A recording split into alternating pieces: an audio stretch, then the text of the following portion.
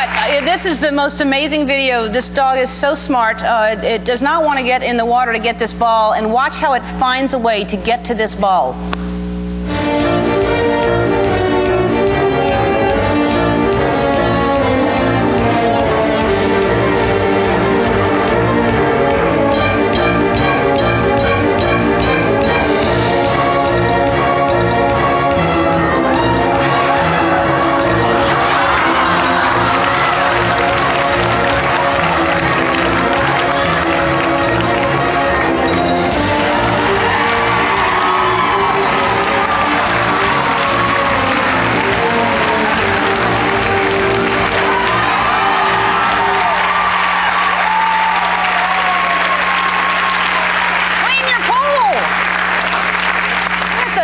Filthiest pool I've ever seen in my entire life.